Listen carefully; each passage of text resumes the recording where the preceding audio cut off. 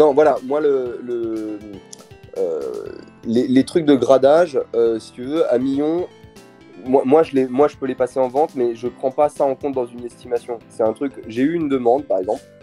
Il y a un mec qui m'a envoyé des, des, demandes avec euh, Wata, il y avait du Wata, du VGA, du K-Grader.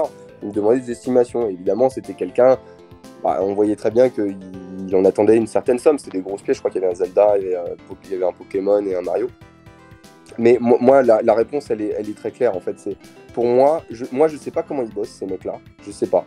Euh, je sais pas sur, quel, euh, sur quel, quels sont les, critères pour euh, mettre des notes et, euh, et surtout attribuer, euh, attribuer ce truc-là. Donc, ça vient pas de chez nous. Pour moi, c'est la valeur, c'est la valeur du jeu neuf. Le reste, alors le jeu neuf, bon, faut, faut, faut, faut pas, faut pas minimiser ça. Évidemment, ça vaut plus cher que jeu d'occasion, c'est sûr. Mais je, je vois pas l'intérêt aujourd'hui de dire ça vaut plus cher parce qu'il y a une note Wata.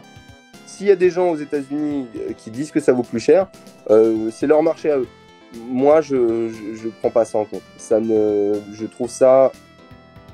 Si je savais comment ils bossaient, si je, si je, je peut-être. S'il y avait une boîte en France qui faisait ça et, euh, et que je, je savais comment ils faisaient ça, euh, oui, pas de problème. Mais euh, tant, tant que je suis pas certain du sérieux des gars, c'est pour moi la, la valeur, c'est le jeu neuf. Point.